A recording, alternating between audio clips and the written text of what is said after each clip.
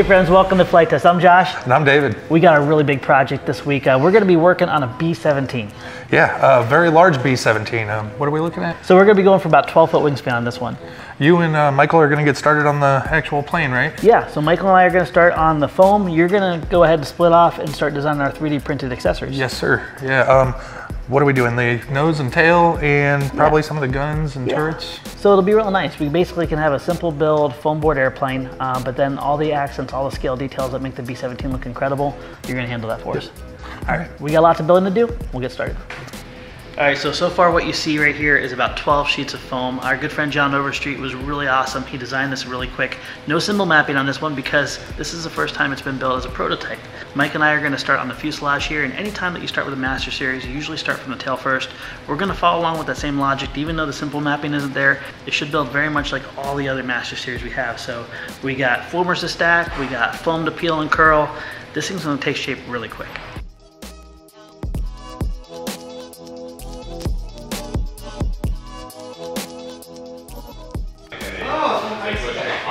Holy cow, Dave, it's looking good, man. Thank you. Yeah, um, it's big. It's really big. and it's, it's, still going too, yeah. by the way. We still have like, all this has to go onto that. And then the 3D printed parts on front of that. Oh my golly. Yeah, we've got probably wow. another two foot of stuff to go. Wow. So basically this is going to be the area where the wing goes, but also where the bomb bay goes. So this is going to kind of require some custom engineering, right? Yeah, yeah. We're going to have to uh, work out a couple of details. Keep you posted. Love it.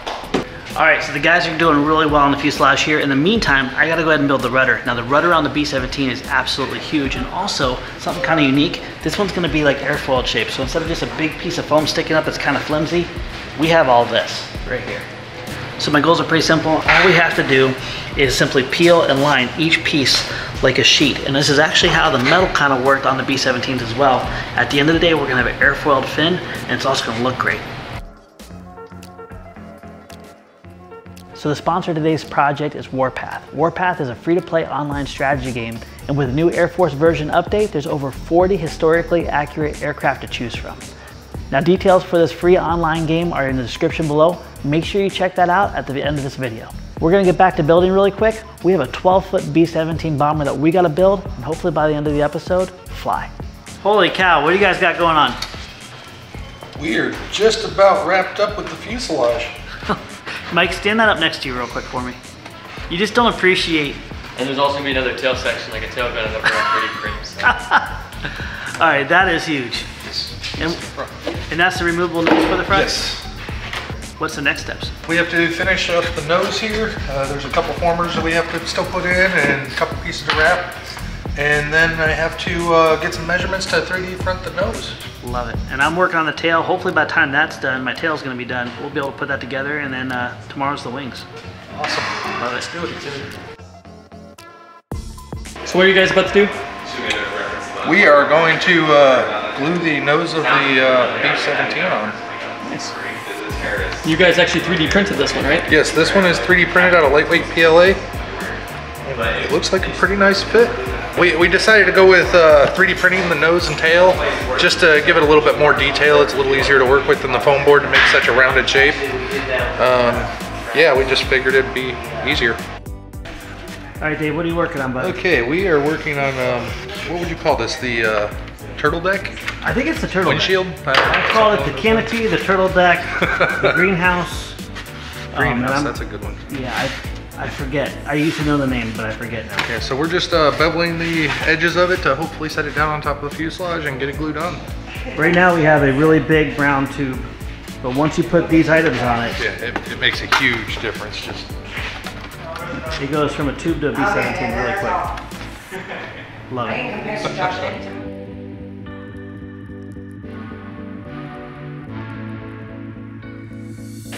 All right, so what we're gonna be doing for the B-17 is something called a box spar. Box spars are very common both in general aviation and also model aviation because they're incredibly light and also very strong. Yeah, so we're basically going to take some plywood, um, lay some poplar on it around the outside edges, and then uh, sandwich it with another layer of plywood on this side. We did experiment this earlier with just 3 8 inch poplar on your uh, Corsair, Noah, and we had over 70 pounds of weight on the center section, the weakest part of the whole thing. So this is incredibly strong. It's gonna be light, and we're gonna be able to build it really quickly. All right. All right, we'll do it.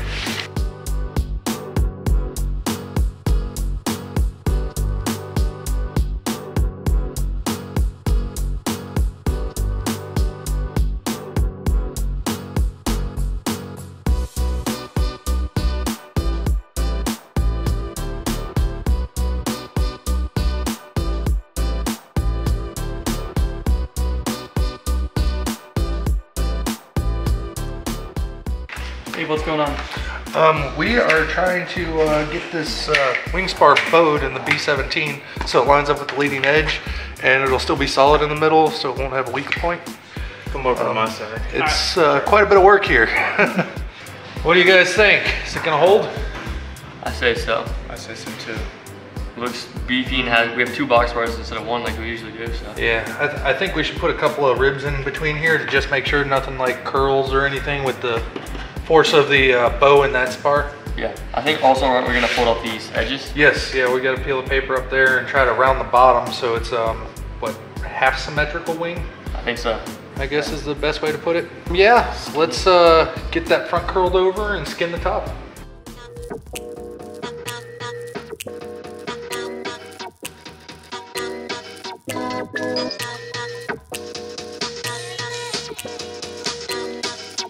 So it is Sunday. We have one day left here. We got to make this thing fly tomorrow. Pull out the big guns. Say hi, Peter.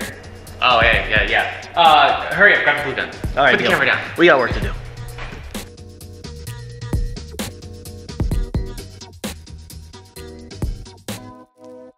There you go. That is a slow servo. Oh, that's just sits on 3.7 volts. oh, yeah, it is your quick. I love Okay. it. Great work, man. Thank you. Glue it on. All right, now we got to get this, and then we got to put both on that, and then we got to work in the wing in there.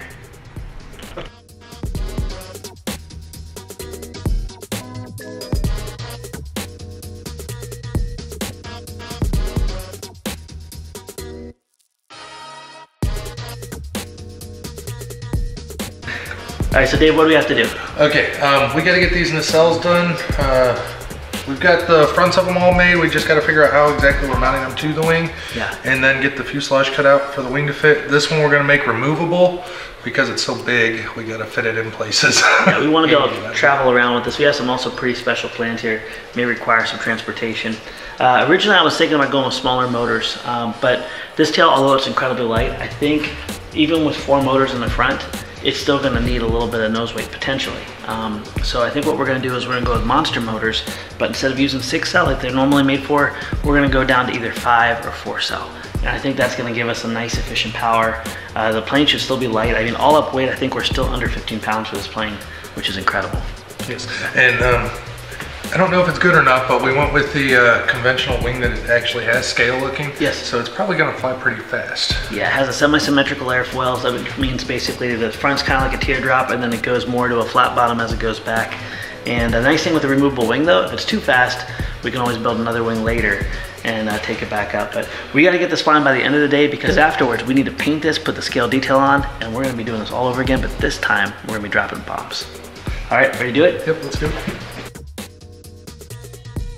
Um, we're trying to make this wing detachable. So basically, we made this guy. It- It's going to be one of the formers inside of the fuselage. And I'm cutting out some dowel rod pins right now. We'll go in these holes like so. And the wing spar is basically going to slip right onto these and it'll hold it in place and then the back we're just gonna bolt down. So if you ever have to take the wing off, you just undo two bolts and the wing will kind of slide back and pop right off. Perfect.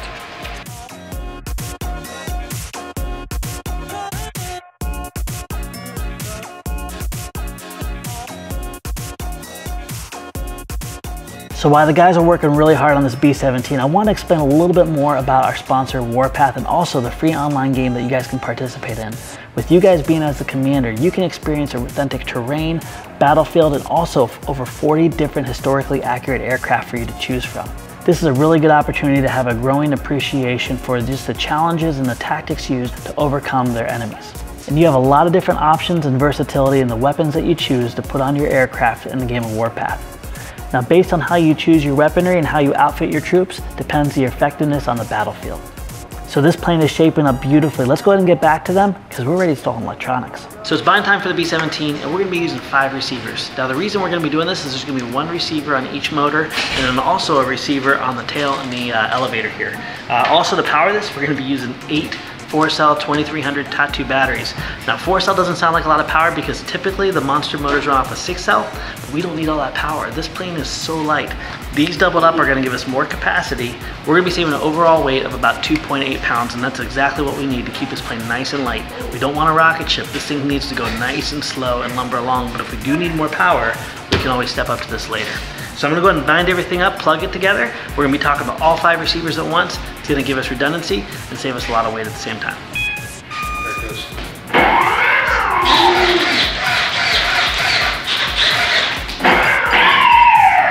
Perfect, we're there. Awesome.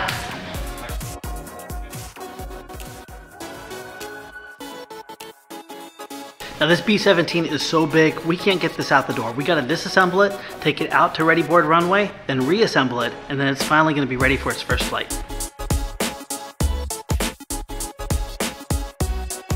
All right guys, so the B-17 is just about ready to fly, but before we go out and fly, make sure you go down in the description below because Warpath has given us a free gift to give to you, and we wanna make sure you get that. We got a plane to fly. I'm ready. All right, right, left, up, down. I'm just stalling here, I'm really nervous. You guys all ready? You got this, Josh. all right, here we go. Wow, that thing's got some power. Oh, Oh my gosh! wow. Oh my gosh! It's Not so a click of trim! It flies like a giant. Oh my gosh! Wow. That, if, if anything ever embodied the scale version of what it was supposed to be, this is it. Oh, that is perfect, Josh. Oh my goodness! Not a click of trim! Wow. Oh my goodness! We got big plans. This thing has to go into the battlefield tomorrow, which means we're gonna fly this, we're gonna feel it out, make sure everything's good, and then tomorrow, it may go into battle. oh my goodness, look at the presence this thing has. Well, we have to make it look pretty first. Yes, we do. Wow. So I don't know how much battery capacity I have here. I'm flying four cells, uh, 4,600 milliamps, and she's feeling pretty good. She wants to tuck a little bit to the right, but that's that's hands off, guys. 50 bucks worth of foam, by the way. We counted up $48 of foam is all it took to build this monster, and probably another $400 of electronics, and that's it. Okay. Oh, we should probably get Greg out of the oh, let's get Greg out of the You runway. want to grab here. Greg? Low risk. Let's do a loop. A loop. So half throttle Wait, flying loop, around. Loop All right. is low risk. Are you guys ready for a loop? Yep. Holy cow.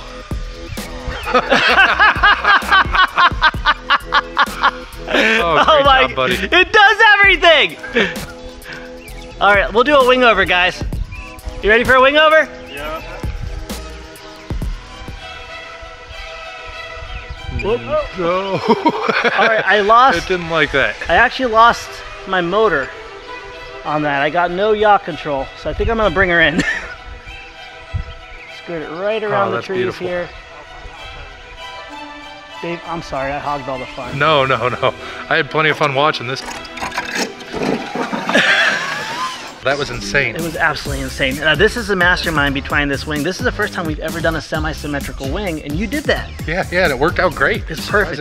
Incidents, nothing was wrong, not a click of trim on this airplane. So we, we did have a weird thing though. When I went up to do the uh, the wing over, I had no yaw control, and up until then, I had crazy yaw control with my differential thrust. So there's something we got to figure out, and that's why we chose to land it. So Dave, great work, man. Yeah, great work to you too. Good piloting. Thanks. Now we're not done with this. We're gonna be taking this out tomorrow. We got paint, we got bombs, we got a lot of carnage and a lot of surprises for you guys. So make sure you hit that subscribe bell because tomorrow this thing is either gonna be epic or no longer. I, I have a feeling that it's going to be able to carry quite a bit of payload. I think so. I think so. It'll take a, quite a few rounds if you know what I mean. All right, we got work to do. We'll see you next time. Take care.